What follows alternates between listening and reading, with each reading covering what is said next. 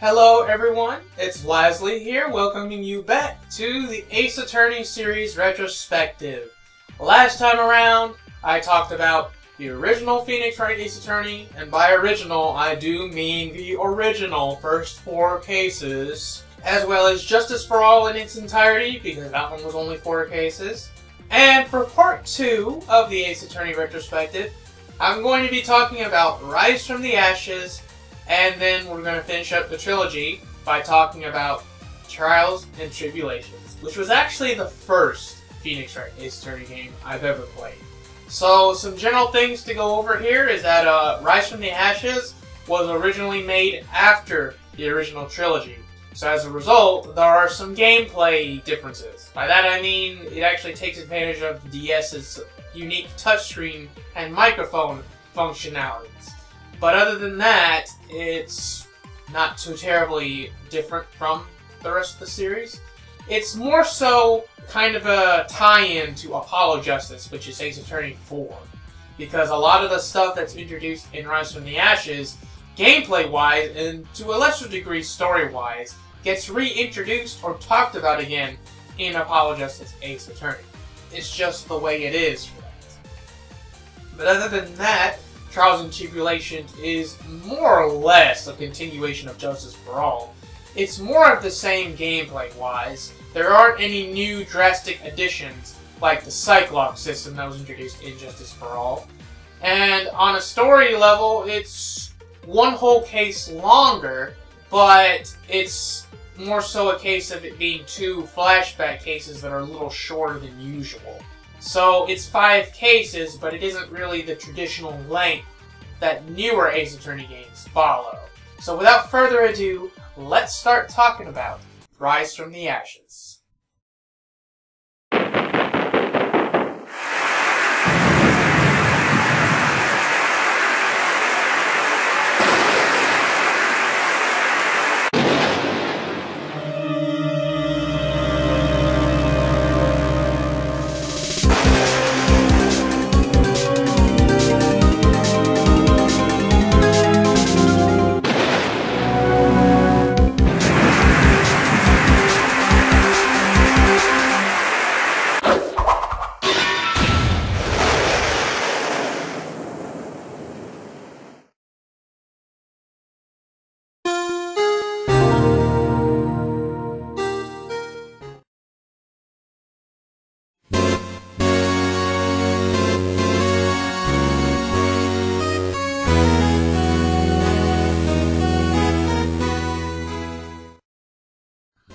Okay, I'm not gonna sugarcoat this. Rise from the Ashes is very, very long. It's about as long as Turnabout Samurai and Turnabout Goodbyes and the first Turnabout combined. And that's if you know what you're doing and you're not dawdling about, figuring out what to do next. But does that mean that this is a poorly written or poorly paced case? No. But it is kind of a shock to go from Turnabout Goodbyes to Rise from the Ashes, which is almost twice as long. But the question is, does it use that length well? For the most part, I do feel like they could have condensed it a little bit. But if you were to look at Rise from the Ashes as more of a standalone piece, rather than something part of a larger narrative, I think then it's a little bit more palatable. At any rate, the story of Rise from the Ashes sees Phoenix Wright defending a prosecutor again. But this time, there's a twist. The prosecutor has a sister, and the sister is Ema Skye, who is uh, a high school student. Yeah, who bears a slight resemblance to Maya Fey. I wonder if that's the reason Phoenix decided to take the case. I think it's implied, but I can't say for certain. And Lana Skye, who is the defendant in this case, bears an awfully similar resemblance to Mia Fey. In this case, there's no spirit channeling, no phase at all. I don't even think Mia Fey makes a cameo as a spirit, like what happened towards the end of Turnabout Goodbyes. No. So if nothing else, this is definitely one of the more uh, straight, I guess, straight arrowed. I don't know what the word, what word to use here. Phoenix Wright Attorney cases prior to Justice for All well, uh, until we get to like the second trilogy, I guess, where there's nowhere near as much spirit channeling at all there too, but that that's a whole nother point of discussion. But yes, you're defending em- you're defending Lana Skye. Ema Skye is going to assist you. And it's interesting because she's into forensics and all that stuff. Forensics is actually, honestly, a really cool and interesting field. And thankfully, because this was made from the ground up for the DS, you get to use the DS's touchscreen and microphone to do some interesting things gameplay-wise throughout the entirety of Rise from the Ashes, including fingerprint dusting and luminol fluid thing. Well, you use luminol fluid to find bloodstains, basically. You do a lot of this mostly during the first two investigation chapters. You still do it a little bit in the third chapter, but not as much. And yeah, it's worth bringing up the chapter structure because they really put a lot of meat into each and every chapter structure. And the trials go on for so long that all of them are split into two or three chapters. So, any rate, once you uh, are introduced to Ema and Lana, you move on to the parking lot, and you run into someone named Angel Starr, who is a former detective who works as a lunch lady of sorts. But the twist is, she witnessed Lana murder Bruce Goodman, who is the victim, apparently, through the fence. Alright then, so you investigate the parking lot, and then you meet up with Edgeworth again in his own office, which is, this is the first time in the series where you actually go to his office. And funnily enough, you don't really come back to it until the Ace Attorney Investigation sub side series, I guess you could say. And that's another series that takes advantage of the DS DS functionalities because those were made from the ground up for the DS as well. So, yeah. But it's interesting because Edgeworth kind of goes through a bit of a character arc here that sort of ties into what happens with Justice for All since this does take place in between the first game and the second game, but because it was made after the third game, it can be a little weird at times. How they kind of retcon, but not really. I wouldn't pay too much stock into Edgeworth's character arc in Rise from the Ashes, but it's still interesting, and hey, it's a justification to have Edgeworth as the prosecutor after, you know, he couldn't be the prosecutor in Turnabout Goodbyes, which is kind of funny to look back on when we get to Dual Destinies, but I'm getting a little bit ahead of myself once again. At any rate, after investigating Edgeworth's office, you don't really get much on the first day, and investigating the parking lot, we start learning a little bit more about the other characters involved. And uh, admittedly, the first investigation chapter is the least interesting because you don't learn as much as you do in the later ones. But you do get reintroduced to Gumshoe. Uh, Gumshoe is technically not the detective on this case, but he's still around to help out as much as he can. The, the detective instead, well, not really because he's more of a patrolman, but he's still involved, is Jake Marshall, who's, uh, yeah, he has a weird obsession with Wild West and cowboys, so I hope you like that sort of thing. I do like his character design, but other than that, eh. Oh, his theme is good though. That that I will say that about the music for Rise from the Ashes. They are some bangers, even to listen to outside of the context of this game. But anyway, we move on to the first trial, and we get more information from Angel Starr, who's dishing out lunches to the judge, Edgeworth, and Phoenix Wright all throughout the trial, which is kind of hilarious to watch. But uh, it's mostly for naught because you find out that there's a lot more to this mystery than meets the eye. Because while it seems like Lana stabbed Bruce Goodman, there might be more to this than meets the eye. So the second half of the trial, first trial chapter, we're introduced to Damon Gant.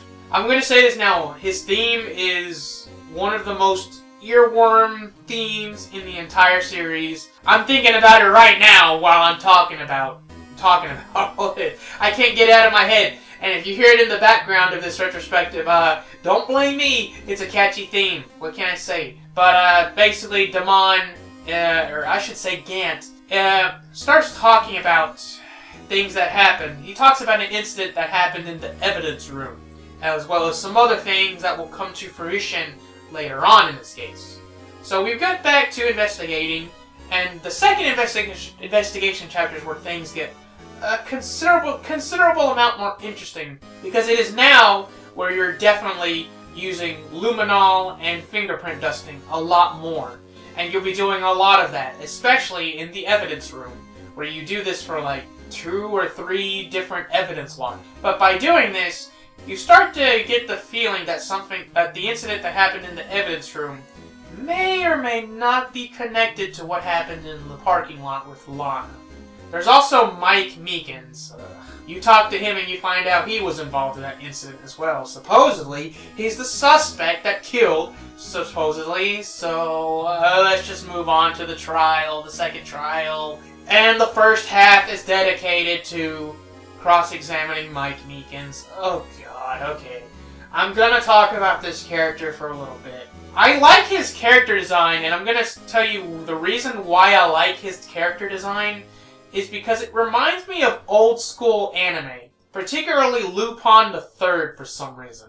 And that's the only thing I really like about this character, because having to cross-examine him is kind of annoying, and when he talks, sometimes he'll talk with the microphone and that makes a screeching sound, which isn't as bad as it could be, but still kind of annoying to deal with.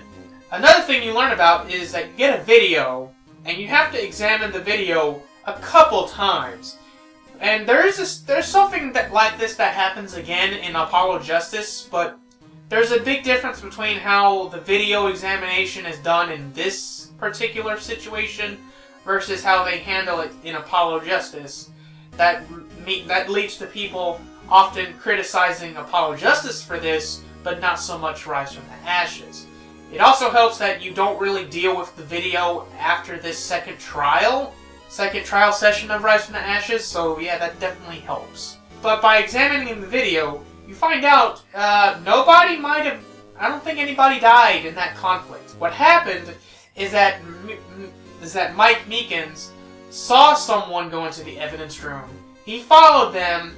He tried to attack them, and the person fought back, and they escaped with nothing but like, but like a cut on their shoulder. But you find out in the second part of the second trial, oh boy, it's kind of a mouthful, that Jake Marshall takes the stand because you find you found his fingerprints uh, that were wiped off on the locker. Uh, I can't remember if it was his locker or if it was another locker, but you find his fingerprints. You have to get him to the stand, and he starts to testify. And eventually, uh, yeah, he just confesses that he tried to go into the evidence room because he wanted to get some evidence about a case. I can't remember the exact name or code for the case, but this was the case centered around the Joe Darke killing, which was centered around a serial killer, but supposedly, even though he was guilty of killing a bunch of people, the way that that went, the way his trial went, is that someone forged evidence, and he got a guilty verdict because of the forged evidence. He probably would have gotten the guilty verdict regardless, but because of the fact that evidence was forged, and towards the end of this trial, Lana comes out and basically confesses as much, this puts the gallery into turmoil, into chaos.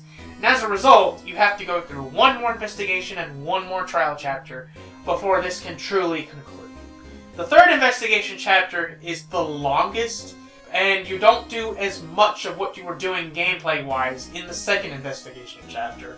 You instead focus more so on Gant himself, and you also get to go to his office and investigate stuff in his office. And you find a safe, and inside this safe, you find some interesting pieces of evidence. One is a strip of cloth, and the other is a shard of a jar that you previously assembled most of it in the evidence room, but because it wasn't fully assembled, it didn't really have much of a purpose until now that you are able to finish and complete it. Towards the end of the chapter, though, unfortunately, Gant shows up and kicks you out. Totally not suspicious at all. To save a little bit of time here, we're going to move on to the final trial chapter, which is split into three chunks. Oh, man. The first chunk is mostly centered around, uh, well, at this point, is mostly talking about the Joe Darke killings. So Ema comes up to the stand to testify what she remembers of the incident. And get this. So she was a witness, and she drew what she, what her memory was able to recall of the incident. Something like this happens, uh, like in the end of the trilogy, uh, the end of Trials and Tribulations, where someone draws something and it, everyone's been getting the wrong uh, impression of it, it gets misinterpreted. In this case, though, it's because what Ema drew was on the back of an evidence list, and the evidence list is was split into halves, was split into two halves. You find this out during the trial, and you find out on the drawing the shape of what looks like the blue badger, which is something that was mentioned uh, a couple times up to this point. Uh, the blue badger was introduced in this case, and it gets brought up again in Ace Attorney investigations. Anyway, it looks like the blue badger, but in actuality, it was the unstable jar, as it were. It was tossed for some reason. And yeah, basically the first trial chapter of the third trial is dedicated to, to figuring out Ema's memories, and a lot of it centers around that dang jar. It's kind of hilarious. Uh, you move on to the second chapter, and this is when Gant starts to become a lot more vocal. Because you start to feel like, with all of his actions and everything, things start to get quite suspicious. At this point, it's easy to assume that he was the one behind forging the evidence and also killing Jake's brother, Neil Marshall. So, yeah, long story short, you go through a lot of that stuff, and by the end of it, uh, Gant's pronounced guilty. How he's pronounced guilty is interesting, though, because there's this thing called evidence law. And because of the way that the evidence was acquired, I'm talking about particularly the strip of cloth, your Phoenix can't present it unless it gets approved by someone in a certain position of power, like Damon Gant, who is the chief of chief of police. But if he if he had presented it when Gant wanted him to present it, Phoenix would have been in hot water, and the case likely would have gone in favor of the prosecution. But because Phoenix pretended not to have the evidence at first, he made Gant expose the fact that he knew that Phoenix had the evidence, and then he went goes on for a while to explain why the evidence is significant. And that is when Phoenix can present the strip of cloth, and well, what happens from there on is pretty easy to guess. We'll just say, and you know, just to keep things at a good pacing, I'm just gonna uh, skip right to the ending. I do want to say Gant's breakdown is really good. Both both of them actually. I mean, there's really only one breakdown, but there's like another animation he does where it looks like he's getting struck by lightning. It's really visually striking in a good way, I gotta say. So, you know, all's good, and all's well that ends well. The sisters are reunited. It turns out Lana was forced to be Gant's accomplice in a lot of things because she thought Ema was guilty of killing Neil Marshall by accident. But it turns out it was Gant who killed him, and then he forged all that evidence. Uh, you know how this goes by now. But yeah, that's pretty much Rise from the Ashes. It's it's an alright case, standalone. It is a little long. I'm gonna say this. It, it could definitely get its point across if it was maybe like an hour or two shorter. The first investigation and the stuff with Angel Starr definitely could have been abridged. I feel like the importance of Rise from the Ashes doesn't really start to show until the first until the second investigation and the second trial. If you started from there instead of the Angel Starr stuff, I feel like the pacing would have been just a little bit better. But I think a lot of the point of the Angel Starr part is to point out the fact that the stuff that happened at the parking lot was suspicious and may not have been what actually happened, I guess. But yeah, that's Rise from the Ashes, and that's uh, the bonus case for the original Phoenix Wright Ace Attorney. It's really weird to talk about this one in the context of the original game since it was made after it and it doesn't really tie into the first four cases all that much at all. That's which is why I chose to talk about it now at the start of this part of the retrospective. I should have probably talked about this at the end, but I feel like if I talk about this after the final case of Trials and Tribulations, it's going from a one seven-hour case to another seven-hour case. It would have been a lot. I feel like for the sake of the pacing, it was better to do it this way. At any rate, I'm going to be taking one of those breaks that I take. And when we come back, it's, it's time to start talking about the one that got me into the series to begin with Phoenix Wright Ace Attorney Trials and Tribulations. And we're going to start off with its first case, Turnabout Memories.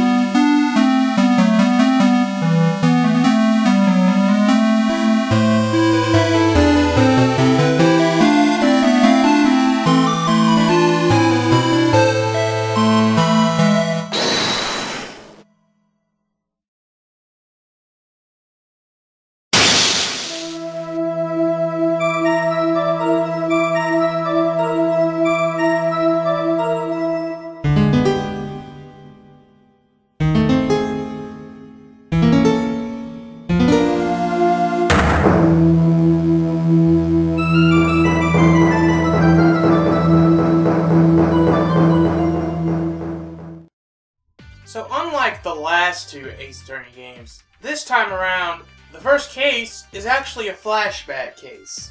And this is the first time in the series that they've done this. And this won't be the last time, not even within the same game. Uh, so Turnabout Memories, here's a fun fact. This was actually the very first case I ever played.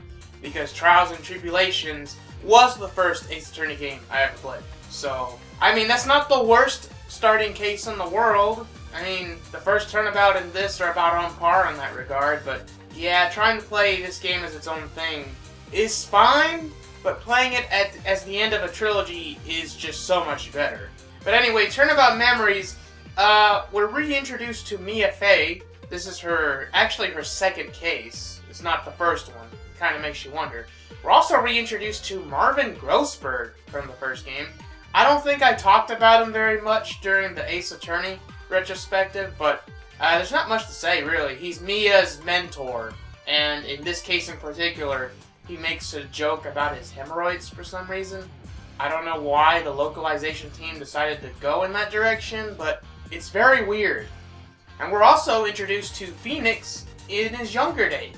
Well, not young, young like when he was in elementary school, like the you know the classroom case of uh, Turnabout Goodbyes, but his younger, but not youngest days, I guess you could say. And uh, yeah, he's accused of murdering his uh, classmate Doug Swallow. That's uh, quite a bit to swallow. But anyway, since this is a first case, you're up against Winston Payne. And you'll notice that he's sporting a lot more hair on his head than what we're used to. Kinda makes you wonder. He's also sporting a fancy green suit.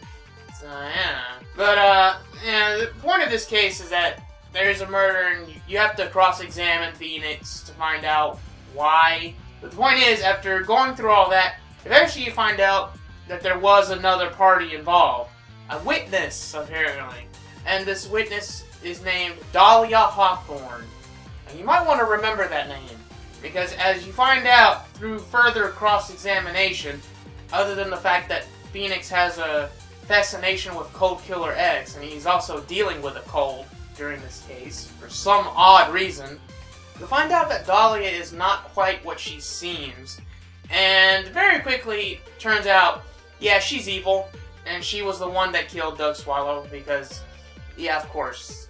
But it turns out, it was actually a poisoning or an, an attempt to poison. She was attempting to poison somebody. And uh, through finding that out, you'll get a clue as to another case later on in Trials and Tribulation. But for now, it's not really so important as it is important to fact to point out that she killed Doug Swallow, and she's convicted of murder, and Mia won. But it's not like this was the first time that Mia has dealt with Dahlia. It's heavily implied that this is not the first time throughout the case in the writing. So I don't think I'm spoiling anything.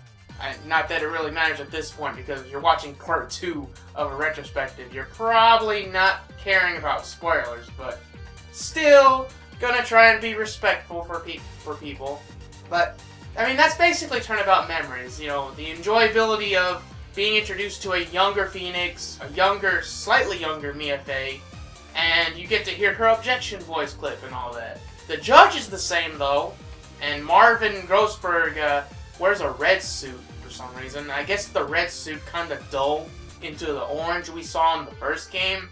I don't know, I guess maybe people were listening to that part of the retrospective and they're like, Well, you didn't talk about Marvin Grossberg, the best Ace Attorney character ever. And I'm like, I mean, he's more infamous in this case, I feel, because of the stupid hemorrhoids joke, but that's besides the point. Oh, and at the end of the case, after you prove that Dahlia is the murderer, uh, Winston loses all of his hair in an epic animation. And yeah, that that's pretty cool.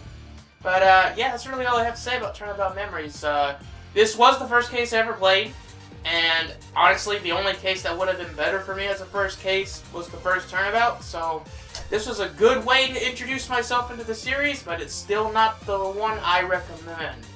So without further ado, let's move on to talking about a far more interesting case, and the first real case that got me hooked into the series, the Stolen Turnabout.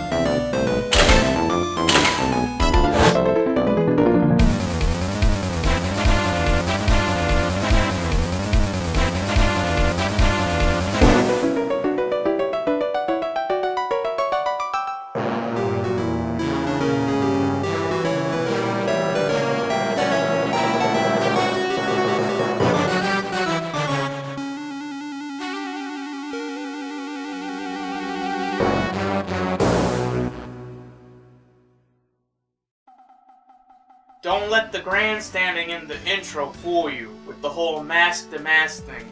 This is nowhere near being similar to Turnabout Big Top, which also had a grandstanding with a certain magician. No, this is quite a different beast. Because starting off, uh, this isn't a murder case. It's actually more of a civil kind of case where you're trying to figure out who stole the Kurain Sacred Urn which was somewhat important back in Reunion and Turnabout and Justice for All, but it gets a little bit more of a spotlight this time around. And since this is the first real case of Trials and Tribulations, it makes you wonder why they're going out of their way to bring back or spotlight all of the stuff that happened back in Reunion and Turnabout. Which is uh, interesting. It's interesting in retrospect. But more importantly, though, as you delve into the investigation for the Stolen Turnabout, you're introduced to a certain ace detective. Uh, no, the ace detective is not Gumshoe with a promotion, but uh, wouldn't that be something? Uh, Gumshoe with a promotion, but no, it's someone named uh, Luke Zvarri. Uh, I'm sorry, Luke Atmey. ah, Zvarri. I fooled you there with the Zvarri. It's Luke Atmey because the pun is that he wants you to look at him because he's apparently hungry for fame. A lot more to this guy's uh, character arc, though. And I don't know, am I the only one that anytime I read his dialogue, I think of the voice of Cosmo from the Fairly Odd Parents? That voice actor? Uh, Daran Norris, I think his name was. Yeah, I think of that guy's voice when I think of this guy talking. Especially when he says, Zvarri! Like he's a magician of some sort. But he's not. He's actually, uh, ooh, not a very good person at all, you'll come to find out by the end of this case. But, most importantly, we're reintroduced to the best Ace Attorney character ever, and I'm only exaggerating slightly, uh, Adrian Andrews returns from Farewell My Turnabout. Uh, I guess she's the equivalent of Lotta returning in Reunion and Turnabout, but thankfully, unlike the Lotta Hart situation, Adrian Andrews is used just enough. She's I believe she's reintroduced just to give the player information on the fact that she has gotten better with herself mentally since the events of Farewell My Turnabout, which is a good update because I do feel like she's a character that some people will get attached to. So getting that update in the Stolen Turnabout is nice. It's nice. It's nice. But you'll find that her role in this case is definitely diminished heavily. She was a key part in Farewell My Turnabout, but she's more of a minor cog in the greater machination of the Stolen Turnabout. And that's fine. That's really fine. We're also introduced to a new character, a couple new characters actually, the Delights. Uh, Ron Delight and Desiree Delight. And yes, that is how you pronounce that name. I don't know if Desiree is American in origin. I don't really care too much right now to delve into that. I'm just letting you all know that that's how it's pronounced. So, yeah. Anyways, Ron Delight is apparently Master Mask, or possibly a fanboy of Master Mask. You're not really too certain during the first investigation chapter. You're also reintroduced at the very end of this section. Uh, Larry Butts, after his noticeable absence in Justice for All, he's all of a sudden back in the picture just for this one little part where he's giving you back Ron's wallet that he just so happened to find. And while the wallet isn't too important now, it will become important during the second half. So to save a little bit of time here, there's stuff about the urn, there's stuff about Luke Atmey being the ace detective. He's very suspicious with the way he acts about Mask☆DeMasque as well. And we're introduced to the Delights and reintroduced to Larry Butts, just a little bit. But we go into the trial, and we're introduced to a new prosecutor again. But there's a difference. We're not dealing with a whip-happy teenager, because yes, 18 is still a teenager before people start arguing.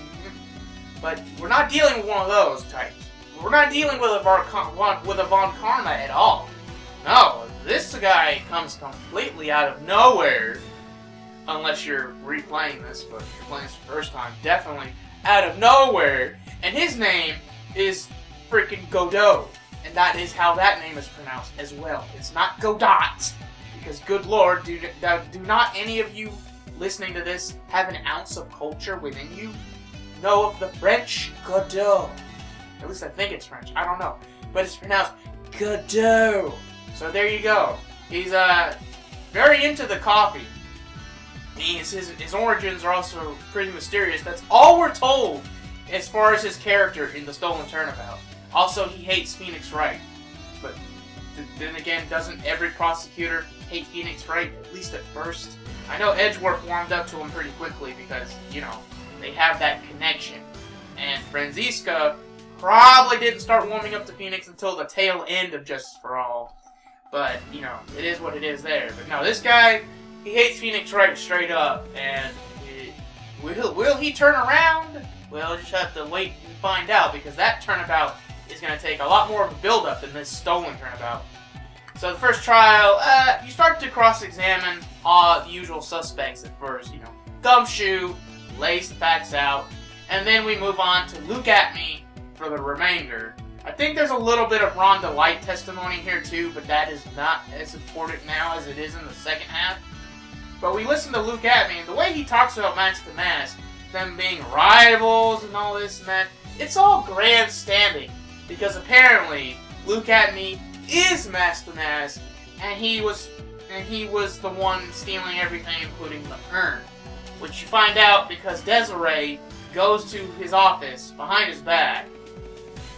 And this is during the investigation where Phoenix goes to the office. He sees a black bag and he feels inside of it and he feels something round which he thinks is the urn. But it's not confirmed until this moment when Desiree brings in the bag. And lo and behold, there's an urn in there. But the only way to prove any connection to Luke Atmey is by checking the fingerprints and looking for Phoenix Wright's fingerprints. Wow, that's kind of brilliant actually how that worked out. And that's actually kind of a running theme in Trials and Tribulations. You're going to find a lot of small loopholes that will be turned and blown up to gigantic proportions at least two more times I can think of for the remainder of this game. And both of those moments are just glorious. Alright, they're glorious. Long story short, Luke Atmey gets arrested for being Master Mask, and Ron Delight is pronounced innocent of being the thief of the sacred urn of Kurain. I believe that's how it's pronounced. My bad. But at the end of this trial, because there's no way that the second case of the game was going to be that short, right? Godot comes in and lets you know that no, Ron is now suspected of murder. Specifically murdering his former boss, Kane Bullard, who we learn very little of, and that's okay. So we go into the second investigation, which obviously has a different focus. We're going to have to investigate things like what happened to the urn during transit for, to the museum. That's where it was. That's where Adrian Andrews works. The museum that displays all of the unique arts of Kurain, or Kurain, or however the heck it's. But yes, the story behind all that.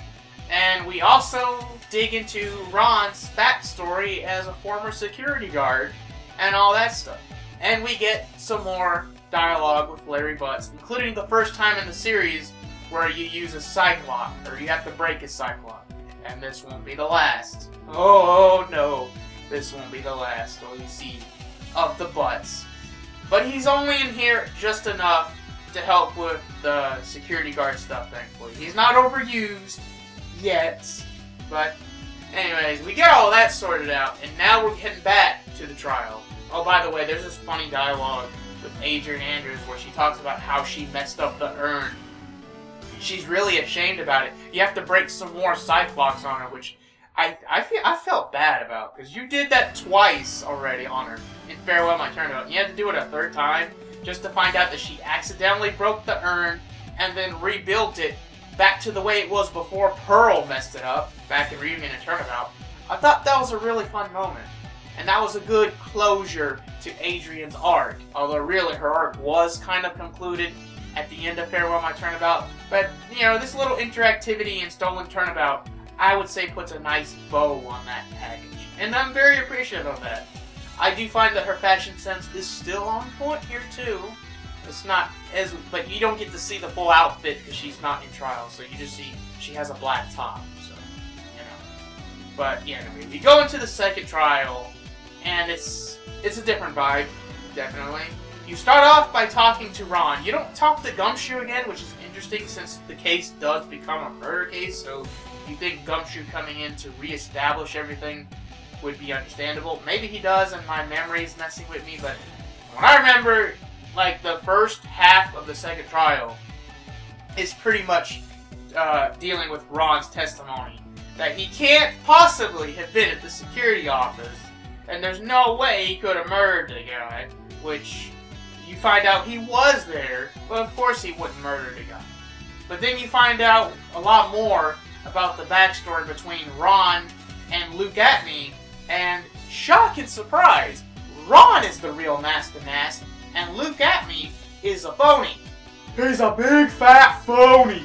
Big surprise with the way he acts at the grandstand and the surviving and all that nonsense.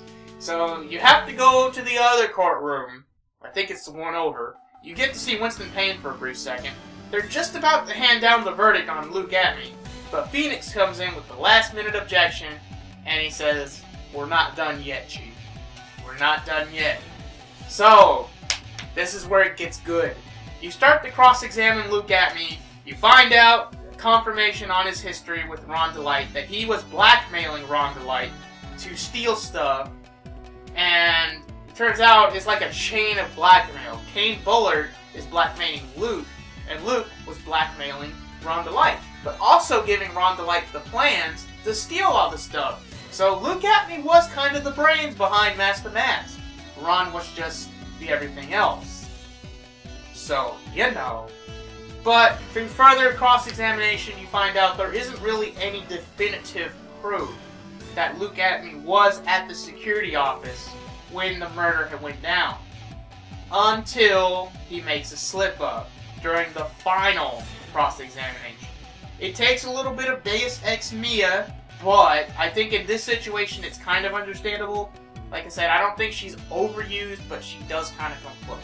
Yes, Mia comes back uh, in Maya's body for the first time uh, since Reunion and Turnabout, I believe. But another connection to the last game's second case. By the way, people consider this a filler case like Turnabout Samurai, and I'm going to set the record here. This is not a filler case. A lot of important stuff happens in this case. Why would you go from uh, Farewell My Turnabout all the way to the last case of Trials and Tribulations, and then you're not to know who the hell Godot is? Like, come on, man. Anyways, you find out that Luke Atmey mentioned something about Ron Delight wearing the Mask the Mask costume at the security guard office. But here's the thing, that wasn't something that was known until Ron Delight's cross-examination earlier that same day. So the only people that supposedly should have known about that information were Phoenix, Godot, the judge, and everybody else that was in that courtroom. So how in the heck would Luke know this? Because he was there, and he was the one that murdered Kane Bullard. That's... It's brilliant! Alright? That's a brilliant loophole! It's a shame that it took Mia to point that out, but hey, at least it was done, and that was an excellent turnabout right there, let me tell you. And uh, hey, Trials and Tribulations, this is a game that's full of them. There's still at least one more really epic moment of this. It's just, it's just a shame. It's just a shame it kind of happens in a real filler case. This is not a filler case. The next one arguably is, but it's a really good one, and that's Recipe for Turnabout. If there's one more thing I can say about Stolen Turnabout, though, before we close this off, I really like the chemistry between the delights. It is a delight to read, honestly. The way that Desiree implies that she hates criminals. Ron is supposedly criminal because he was stealing all that stuff, but it's more like she just she's not a fan of cowards, which a lot of criminals are in a way. It's a very good observation. So, yeah, there's an interesting dynamic between those two. I really think this is an underrated case. But anyways, all I have to say about that. There was a lot to say for such a second case, but hey, this was the first real case. This was the case that got me to be a fan of the series, so there it is. So anyways, moving on to find the recipe for Turnabout.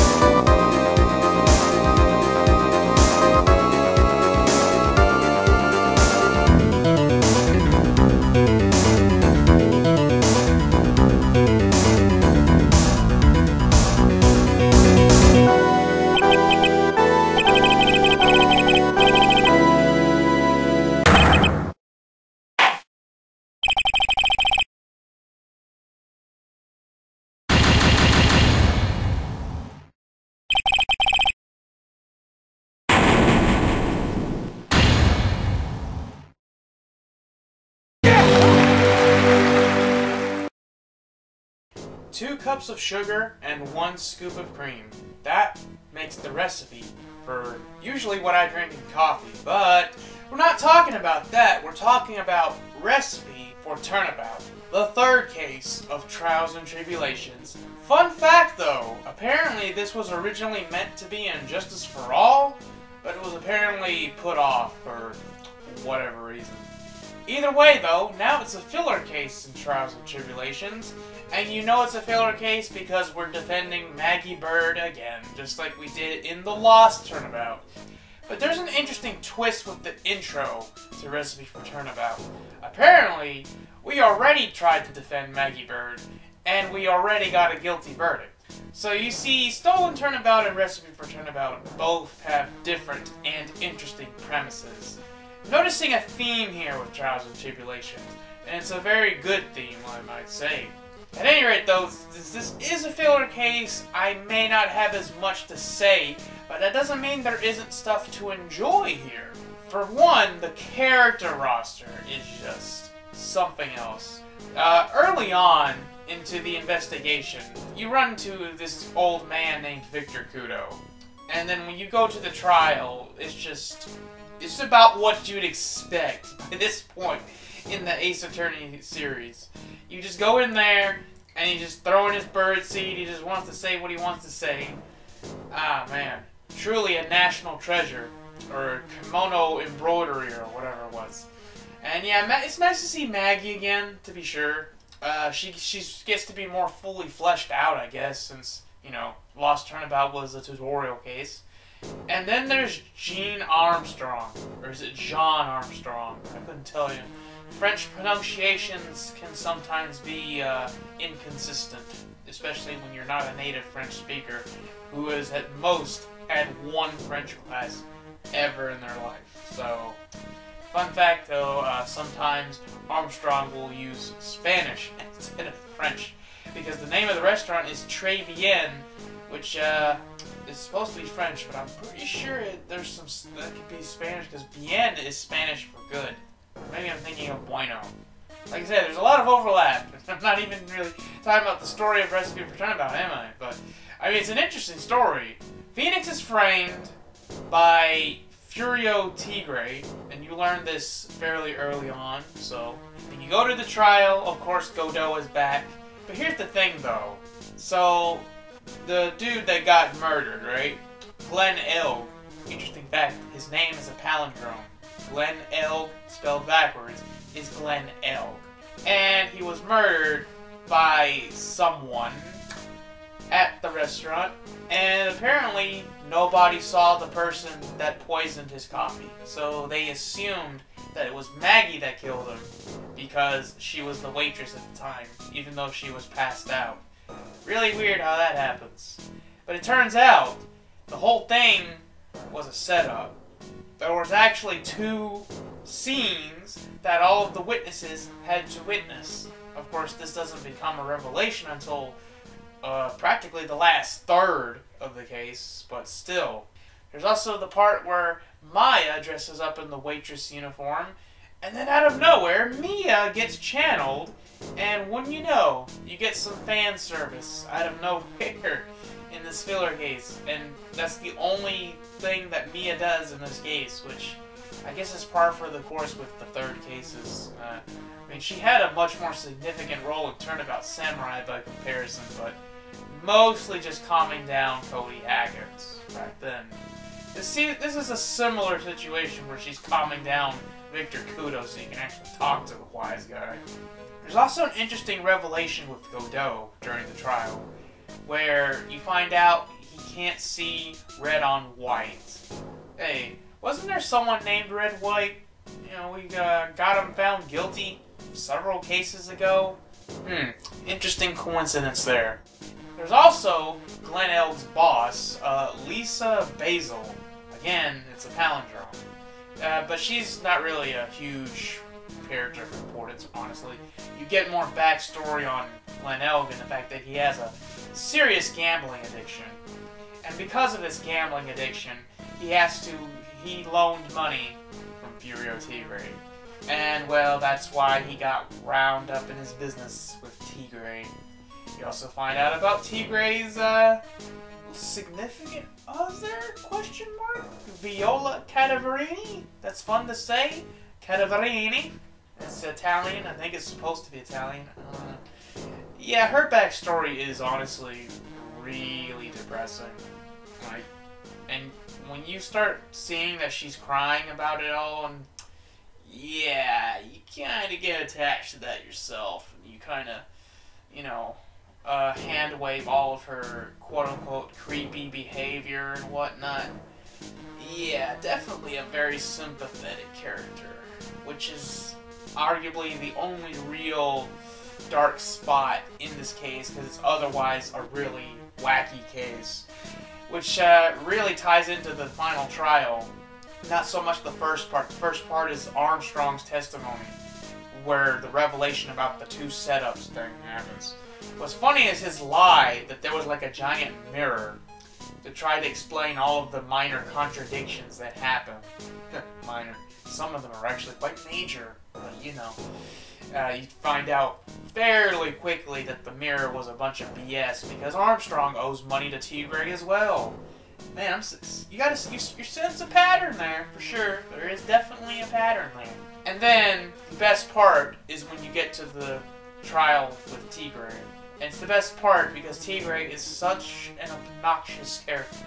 But it's the kind of obnoxious personality that I'm sure everyone has dealt with at least once, but most likely 10 times that amount in their lifetime. That's actually kind of amazing. But what's really amazing is how Phoenix gets Tigre with the bluff. Taking Glenn Elg's ear medicine and trying to pass it off as the murder weapon, the bottle of potassium cyanide, and Tigre just fell right for it. And Tigre has a pretty solid breakdown too. He just roars, shatters the lights in the courtroom, and is frozen. I mean, how does it get any better than that? There's also a whole thing throughout the case with Gumshoe and Maggie, which is kind of adorable, I guess, but there's also a pretty significant age gap. Not sure how I feel about that, but at least it's a 20-something and a 30-something, so... But the way they act about the whole thing is pretty charming. I will say that much. And yeah, that's all I have to say about Recipe for Turnabout. It's a filler case, but it's a fun filler case. This is the opposite in quality compared to Turnabout Big Top. But without further ado, I'm not going to dwell on this one much longer. I'm just going to go ahead and move on to a far more interesting case, and I consider this basically the prelude to the final case of Trials and Tribulations. Kind of the part one to case five's part two, which is something you may want to keep in mind when I talk about dual destinies and spirit of justice in particular. So yeah, next I'm going to be talking about Turnabout Beginnings, but I'm going to take a sizable break because, like I said, I'm probably going to talk about that one and the one after that back to back.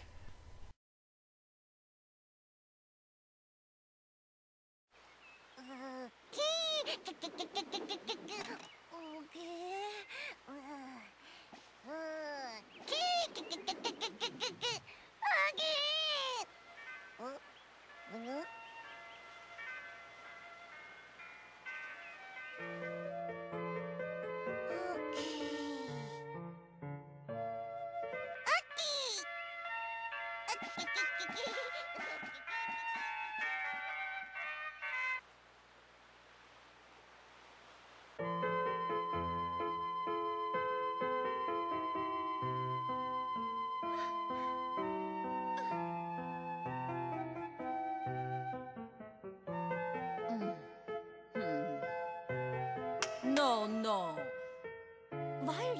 emotionless? You've got to be more expressive. Nobody in the audience will be touched by your performance. Hmm.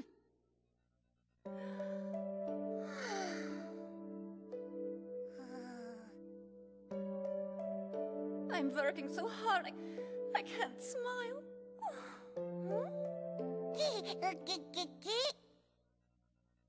You can't help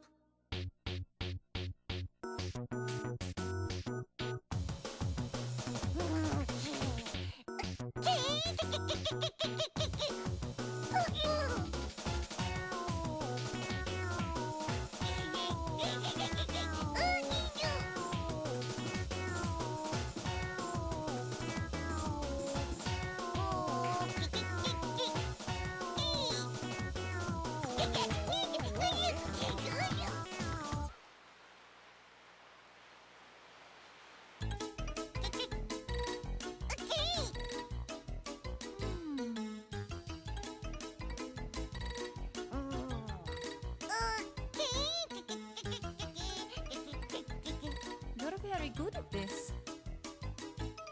Okay.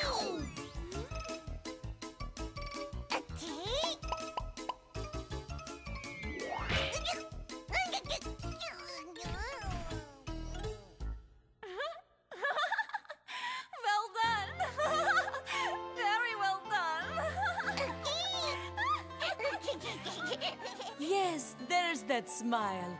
What you were missing was that beautiful smile. Very good. I can smile like this because you helped me.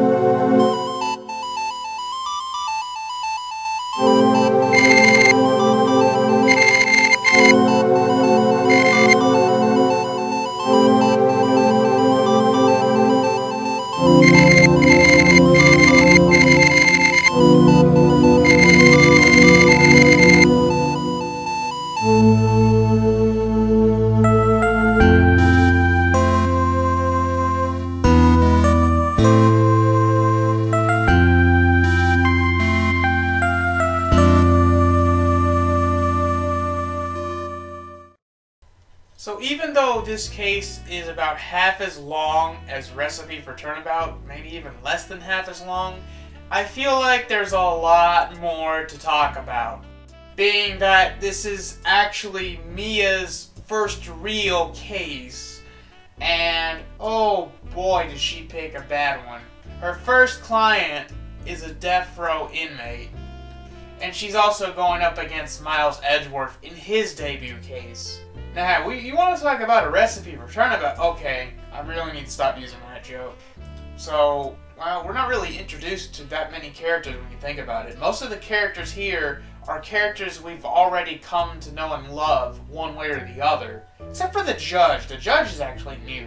But apparently, this is Canadian Judge. I don't think that's the official name. I think that's just the name that the fans have given him. Because apparently, he's meant to sound Canadian. I I guess I can see it.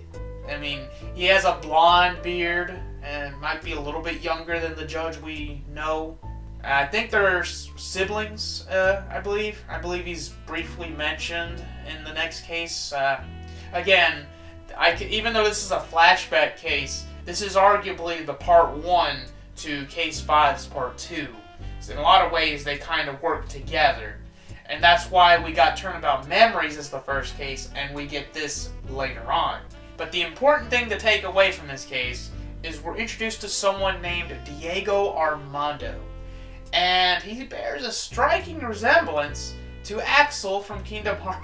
Just, I mean, he kind of does, but that's not the point. The point is, he looks an awful lot like Godot, minus the face mask. It kind of makes you wonder if they're cut from the same cloth. Maybe they are, but we don't find out about that until the freaking final case. So, for now, just enjoy Diego Armando's similar coffee addiction.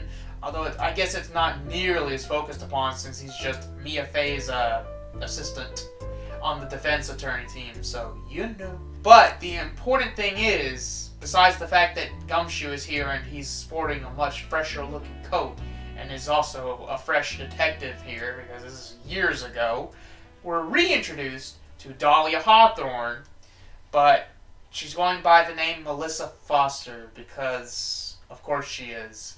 Using a fake name because she faked her death during a fake kidnapping that went awry because of the victim. They're like stepsisters or something. Dahlia wanted the jewel, and uh, the stepsister. I don't know. This seems like it was kind of like a plot hole in a way. They never really explained why the sister turned because it was supposed to be a plan where all of them were in on it. Dahlia uh, Valerie and uh, Terry Fawles, the defendant in this case. Yeah, they were all supposed to be in on it, but Valerie turns on Dahlia and Terry. They never really explained why. It just seemed to happen out of nowhere. I guess because she's a cop, maybe she pretended to be in on it, but was uh, was gonna turn him in or something like that. I don't know. But that's not really a big big important factor here. The big important factor here is the fact that you know this is where Dahlia's evilness is firmly established, if it wasn't already established in the first well turnabout memories, I should say. The way this case you know turns out. By the way, uh, Edgeworth, younger Edgeworth, it's kind of crazy how much younger he looks compared to the Edgeworth we know and love. He's only supposed to be like 20 years old here, but in like Trials and Tribulations, say, I think he's only supposed to be 26. So in six years, I don't know, he looks like he might have aged like a decade or more instead of only six years. Makes you wonder if it's all the stress from all these cases he's had to deal with, you know? But yeah, the way this case ends up, you, it's similar to what ha- happened in Turnabout Memories, except it's the worst case scenario. Terry Fawles, when he's asked to come testify, he's already uh, taken the step that Phoenix did during Turnabout Memories. Difference is, when Phoenix did it, the bottle was empty.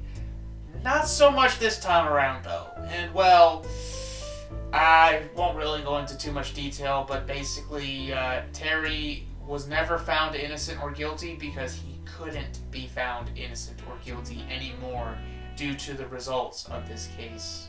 I won't explicitly say what happened because, well, I think YouTube is against even saying the word, but yeah, I'm sure those of you listening know what I'm talking about. Basically, this case is that re reminds the player of Dahlia's evilness because she's gonna be important in the final case of Trials and Tribulations. Reintroducing Edgeworth is important. Uh, reintroducing Mia Fey, not so much since she had a presence in Stolen Turnabout and Recipe for Turnabout. Even if the role in Recipe for Turnabout was hilarious fan service, the role in Stolen Turnabout was a definite return to form.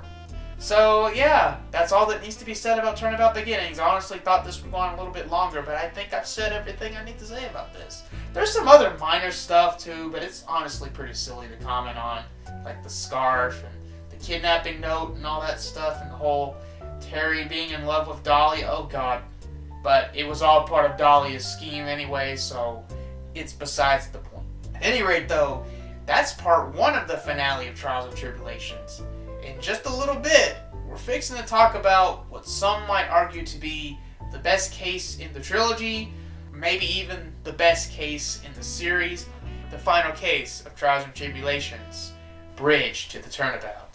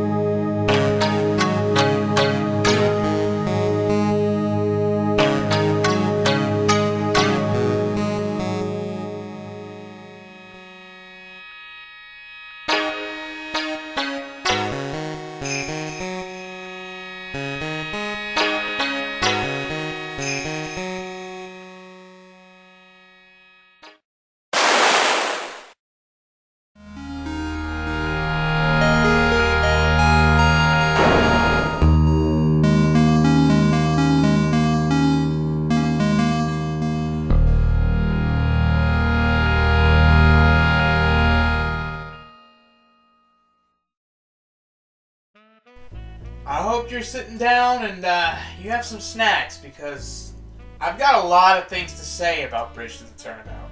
Fitting because it's actually the longest case in the trilogy. And why shouldn't it be? It's the epic finale not only for Trials and Tribulations, but for the trilogy as a whole. And there is so much amazingness to behold here. But it does start off a little slow. Basically, the premise is Maya wants to go take a special course, training course, in the Hazakura Temple. Actually, it was suggested by Pearl, so that automatically makes it a more interesting proposition. So basically, Maya drags Phoenix along for this, and the first half of the investigation segment, the first one, is dedicated to this. But towards the end, there are some interesting revelations. First of all, there's someone that bears a striking resemblance to Dahlia Hawthorne. But apparently, her name, this woman's name is Iris, not Dahlia. I mean, they're both named after flowers, and they both seem to have the same face. Only difference is their hair color is different. Okay, good enough for me, I guess. No, not good enough for me, Dan. But well, there is a reason for this. But you don't. We're not gonna find. We, we don't find out about that till quite a ways into the case. So again, it's a slow start. We're newly introduced to Sister Bikini, who is basically the nun or nun or whatever you want to say, acolyte, whatever. But she's basically like the mass, well, master of the Hazakura Temple. She's like the head nun, basically and she's in charge of taking care of Iris. It's kind of a mother and daughter relationship in a way. We're also introduced to someone named Elise Deauxnim, and yes, that is definitely the accurate pronunciation there. I'm pretty sure it is French. Weird though. But anyway, Elise Deauxnim, who takes a fancy to Pearl for whatever reason, and Pearl takes a fancy to her because apparently she's a famous picture book artist. But who would have who would have guessed? The interesting thing is, she has a protege, uh, an apprentice. Who is this apprentice? Well, they didn't reintroduce him in Stolen Turnabout for nothing. We're introduced to the grand debut of Laurice Deauxnim, also known as Larry Butz, and that's how he will always be remembered, for better or for worse. Nobody sticks to the Laurice Deauxnim name except for a couple characters that don't actually know about his whole, you know, his his whole stink. That if something smells, it's usually the Butz. You see, usually if something smells, it's usually the Deauxnim. You see, that doesn't have the same ring. It really doesn't. But yeah, we're apparently he's here being the apprentice for Elise. Why is Elise here? Well, heck if we know. We don't find that out right away either. The interesting thing is, Phoenix tries to talk to Iris, but towards the end of this uh, first investigation segment, the some things go down as per usual with the start of these final cases. So Maya gets trapped on the other side of the Hazakura temple because there's like a bridge. There's this dusky bridge. It was a pretty important setting in Turnabout Beginnings because that was where the whole kidnapping thing went down and also the murder of Valerie. Dusky Bridge gets lit on fire because of a lightning strike. What are the odds? Phoenix, without even thinking about it, tries to go to Maya's rescue because the bridge was still up. It was on fire, sure, but it seemed like you could still walk on it. Of course, the bridge collapses underneath him and he falls to his doom. He doesn't die, but he gets a really bad cold which puts him out of commission, which makes you wonder who will take over for him during the next investigation segment. And welcome to one of the best twists in the trilogy. Edgeworth gets called upon to act as a standing defense attorney for Phoenix until he gets over his cold as much as he can in one or two days. So, for the rest of this investigation segment, as well as the entire first trial, we get to play as Edgeworth, more or less. And it's great, honestly. It's really great. The whole the whole thing is great. You don't really move the plot too much in a major way, unfortunately. Uh, it might have been an intentional decision. There are some revelations, to be sure, but it kind of takes a backseat to the whole fact that you're playing as Edgeworth. You're, he's living out his his what was originally his dream to be a defense attorney like his father. He doesn't. He seems to kind of downplay it though. Also, he does take over the Magatama, and when you do the usual Psyche-Lock things, uh, he calls them Psycholocks instead, which is just utterly hilarious. So, yeah, basically Edgeworth investigates stuff. He breaks some Psycho locks. The funny thing is though, uh, he Cyclops, I believe it was Iris and Lar and Larry. I almost said the wrong name. uh, Larry. The hilarious thing is when he starts to break Larry's Psyche-Locks. The first time, you know, it's that's that's just the thing. The first time you get some information that Larry saw something interesting while he was uh, watching the bridge light on fire. He claims to have seen something interesting. You break his Psyche-Locks, but it turns out he had another layer of Psyche-Locks. And Edgeworth's reaction is just priceless. He's just like, I'm just gonna take you to court and finish you off there. Is basically what he decides to do. But me as the player, every time I get to that section, my gut instinct is just to say, Larry! But we go into the trial, and somehow things only get better. Or worse, depending on how you feel about the prosecutor. It's not Godot, for some reason. We find that out later on. For some reason, it's not Godot. It's Franziska von Karma! Yes, I'm sure you're surprised to hear that name again, but she returns as the prosecutor for the first trial of Bridge to the Turnabout. She gets to bring that whip-happy attitude. But the interesting thing is, she's not quite as... I really don't want to say the word, but bitchy, I guess? She's definitely a lot more reserved compared to how she was during her two trials in, uh, or two cases in Justice for All. She went from being a nearly intolerable character to actually being a very tolerable character and somewhat likable. And if you feel this way now during the trial, well, she does stick around for the rest of the case for the most part. So, yeah, that's pretty dang interesting. But it's Edgeworth as a defense attorney against Franziska as a prosecutor. And you're wondering, how do they get around that with the judge knowing Edgeworth as a prosecutor and all that? Well, that's probably why they did the Canadian judge thing. He only saw Edgeworth prosecute one case, and then we all know how that case turned out. So it goes to stand that he might have tried to blurt it out of his memory, like any sensible human being would do. As a result, the judge, the Canadian judge, barely remembers Edgeworth. He almost he tries to do it during the trial, but it's quickly quashed. Like it's quashed by Franziska so bad, it's hilarious. Okay, but for the trial, we get two witnesses to cross-examine with this epic crossover. Uh, Bikini, where by doing so we learn more about that the fact that she might have witnessed two irises potentially. Uh, basically, her testimony is very strange. It's all we can really confirm at this time. But trial gets good or bad depending on how you look at it when we get to the second half of the first trial, and we deal with the reintroduction of Laurice Deauxnim. Oh my god. I'm going to spare you a bit of the pain of having to summarize all of his buttsness and just get to the point that the interesting thing that he observed was noted in the form of a painting.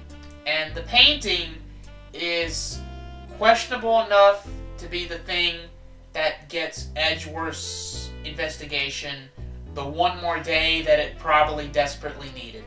We'll just say that much. There's also plenty of Franziska whipping Larry, which is good. He probably needs a whole lot of that after his shenanigans with the painting. Arguably, Laurice Deauxnim is a worse character than Larry Butz. The Larry Butz that I came to respect in the original Ace Attorney and Laurice Deauxnim are two completely different yet related, connected characters, to be sure. But man, Edgeworth section in this case, yeah, it's really good. It's also really nice that to have the Edgeworth segment because it really does make this case kind of feel like a two for one situation. It really eases the pacing and the tension a lot. And that is one reason why I like this more than Farewell My Turnabout. That one kind of drag is kind of the point is supposed to drag on a little bit because of the kidnapping thing with Maya, but you know, the way they handle the pacing and Bridge to the Turnabout makes it a lot easier to digest, I feel. But anyways, the second half of Bridge to the Turnabout is where things, you know, we start to see the realness of this case. Because Phoenix is back in business, barely, and we start to learn a lot of stuff. We learn a lot in the investigation, his investigation, but we don't really learn everything until the final trial, which I think is like three hours. I, the final trial, I think, is basically almost half of the ca- entire case. It's kind of crazy, actually, but it's fitting. It really is, but yeah, it turns out Godot was here the whole time, but he was stuck on the other side where Maya supposedly was. And during this whole thing, Pearl is out doing some weird stuff too. Apparently, find out that there's a burnt note in the incinerator, and the burnt note was made by Morgan Fey. Remember her? Apparently, Morgan Fey gave a letter to Pearl during one of uh, Pearl's visits to the detention center. And Pearl was trying to follow these instructions. Let's just say she didn't do the best job possible, but she probably did the best job considering her age and reading comprehension and all that stuff. Leave it at that. I'm jumping the gun a little bit because that actually happens towards the end of Phoenix's investigation, but oh well, this is a retrospective. I can take some liberties here, I feel, if I haven't already taken a bunch of those. We do get a little bit more of freaking Laurice Deauxnim, but not that much, honestly. Uh, The painting is still important, on the other hand. We will learn more about that during the trial. The rest of the investigation, Franziska actually is Phoenix's assistant. Holy crud. Franziska, of all people, is his assistant for the first half of his investigation. And it's, it's about what you'd expect. It's the more tolerable Franziska. She has some very good moments of character development, honestly. It's kind of shocking that she went from being, like I said, an, almost an intolerable character in Justice for All to being very respectable in Trials and Tribulations, a Bridge to the Turnabout, I should say. And you really don't you don't see it coming. It's not anticipated at all. Anyway, the first investigation, or first half of Phoenix's investigation, ends as you start to figure out who Elise really is. You find out she's actually Misty Fey, Maya and Mia's mother. Holy crud. And then stuff from DL6, from the original Ace Attorney, starts getting dug up again. Not in a major way, just because it becomes relevant again, because that was the case that made Misty go into hiding. So, this is why people consider this a finale to the trilogy, because all of those even remotely loose plot ends are just completely cut up and finished here. Like, the stuff with the DL6 and Ace Attorney, the stuff with Morgan Fey's plots in Justice for All, every little bit just all comes together here and it all gets concluded, if not during the investigation, then during the final trial, certainly. And I keep hyping it up, maybe I should just start talking about it. Well, there's also a bit of interesting development with Iris, particularly during the midpoint of the of Phoenix's investigation. It seems like Iris is entrusted to release the locks in the sacred chamber because supposedly Maya might be hidden behind the sacred chamber. We also find out from Godot more about why he apparently hates Phoenix. Apparently, Godot hates Phoenix for what he wasn't able to do. He wasn't able to save Mia. Wonder what makes you think why would Godot have an attachment to Mia as if the player probably didn't already figure it out. You know, we'll spell it out when we get to the trial. Holy crud, this case is long, but it's so good. But there's some interesting stuff going on with Iris. She starts to act different during the middle because there's an earthquake that happens out of nowhere during the middle of the investigation. And it was during this whole mess up that Iris uh, started to change in, at behavior a little bit. And as you would continue to investigate, you have to do a Psyche-Lock on Iris again, strangely enough, and also on Pearl, like I mentioned earlier. And you start to find out more about the situation with Iris, but you really don't learn the rest of it until the. It's, it's kind of like what happened with Larry during Edgeworth's investigation, but a lot less, you know, butts y. Definitely a lot more fitting and polite, I guess you could say. But yeah, the biggest thing is the revelation with Elise Deauxnim being Misty Fey. You also figure out about her little secret weapon, among other things. So you get some interesting revelations to take with you as we head into the final trial. Starts off really bad though, because Iris supposedly confesses to the crime of tampering with the crime scene and being an accomplice to the real murderer. Oh boy! But it's during this you find out the real meaning behind the painting that Larry took. Or drew, I should say. The painting doesn't depict Iris flying over the bridge, but actually Iris flying under the bridge. Also, it's not Iris, it's it's Misty Fey's corpse because she was the one that was murdered, you see. So it turns out the body was transported via pendulum, via one of the bridge's ropes. Man, if you thought the whole thing with Max Galactica and Turnabout Big Top and how that murder method went down was crazy, this beats it somehow. I mean, this wasn't even the murder method. This was the bo- the corpse transfer method, and it's somehow crazier than the murder method of one of the craziest cases in the series. And it might even, I would say, in the bad way, but you know. But yeah, wow. But after you learn about that, you start learning about the other stuff with Iris. Towards the end, though, the testimony that Iris gives starts to become more and more contradictory. It really starts to hit you what went down in Hazakura Temple because the final trial is split into three chunks. And the second chunk, we find out the Iris that's testifying in court is actually Dahlia Hawthorne because she was executed and her spirit was channeled by someone. Uh, oh boy. Just to save you all some time a little bit, basically, Dahlia talks about how evil she is, about what happened in Hazakura Temple. Mia shows up in Pearl's body to deliver the fatal blow of revelation to Dahlia that she always was and always will be a failure, even in death. And Mia will always be there to take her down. And it's just the breakdown that Dahlia's spirit does, I would say is the best breakdown in the trilogy. It's just such a statement. It really is. And to go from Tigre's breakdown, arguably, since there wasn't really a breakdown in Turnabout Beginnings, to this, even though, you know, Recipe for Turnabout was a filler, it's a suitable, it's a suitable upgrade, let me tell you that much. But, yeah, I, I kind of abridged that whole arc a good bit, but yeah, Dahlia gets taken down very, very aptly. And you think that would be the end of the case, but just because Dahlia is evil, and she did some evil things, doesn't mean that she was the one who murdered Misty Fey. Crazy, I know. But it turns out Dahlia was channeled by Maya the whole time. Oh man, Maya just can't seem to cut a break with all these final cases, huh?